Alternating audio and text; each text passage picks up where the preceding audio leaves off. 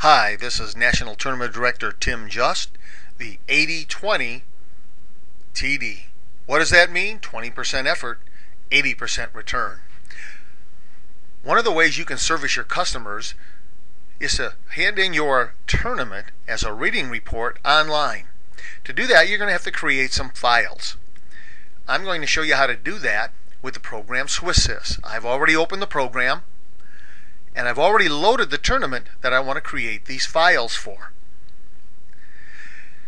You don't really have to load the tournament first, but it sure makes the job a lot easier. I have the open, reserve, and unrated sections. I'm going to go to Utilities, and I'm going to select Ratings Report for USCF. You'll notice in the screen that popped up, only two of the sections appear. What we really want to do is we want to add another section because we did have that unrated section. You'll get a list of sections that you can choose from. You'll also be allowed to, if you so desire, to come up here and start browsing and find the tournament that you want to have more sections added to. I'm going to select the unrated section. I can double click it or I can come down here and I can open the tournament. It's confirming that this is what I want and it only had one round.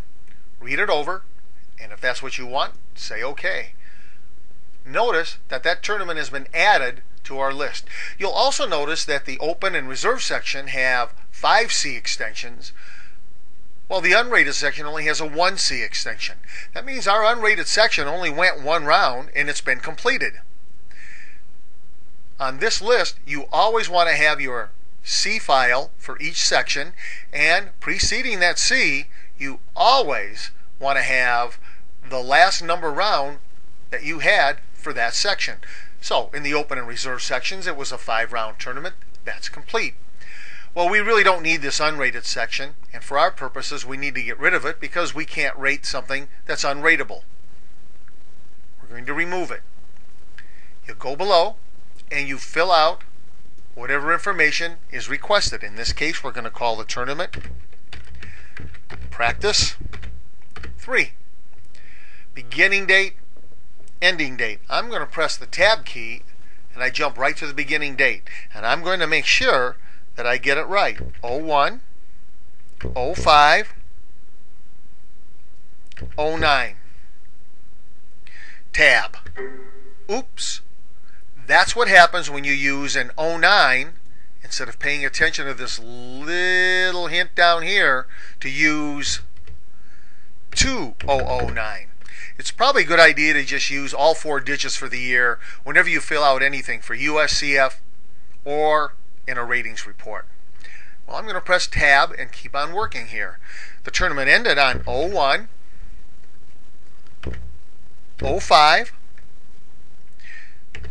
2009.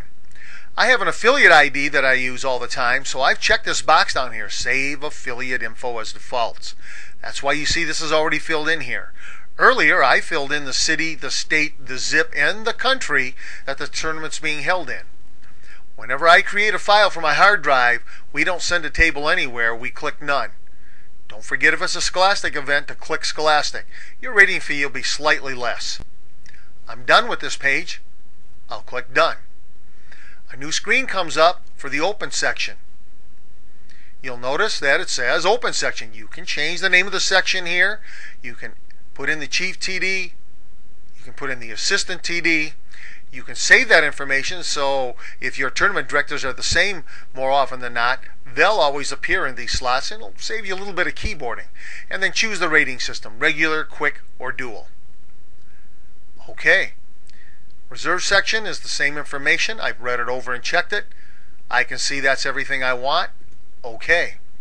Now comes the fun part. You're going to have to put this tournament file that's being created someplace where the USCF software can find it when you ask it to go and upload it. The easiest thing to do is put it on your desktop. It's not all the most effective or efficient thing, but it certainly is the easiest. By the way, this screen will look slightly different if you're using Vista. In Vista, you'll probably have to save everything to a public folder. That seems to be, from my experience, the only folder that the USCF software is able to read and upload files from. However, this is XP, and what I want to do is I want to go to my programs and I want to put this file that's being created with all the other files for this tournament. So I've clicked on Program Files. I'm going to scroll down till I find my Swiss folder. And you'll notice I've bought a lot of versions of SwissSys over the years. This one happens to be SwissSys 7. I'm going to double click on it. I'm going to go to Events. And this is my practice tournament. I create a file folder for every different tournament that I run.